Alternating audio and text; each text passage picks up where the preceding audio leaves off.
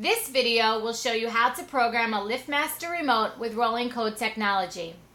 Rolling code technology is where the code between the remote and receiver changes with each use for added security. Rolling code systems have been used with Chamberlain's LiftMaster gate or garage door receivers manufactured since 1993. To program a remote, you will need to find the receiver's Learn button or Smart button located on the back side of the opener near the wire antenna. We will use the example of a LiftMaster garage door opener using the 315 MHz Security Plus technology with the purple Learn button. Older units may have a red or green Learn button. Locate the Learn button on the back side of the opener near the wire antenna. Press and release the Learn button so that the LED will glow steadily.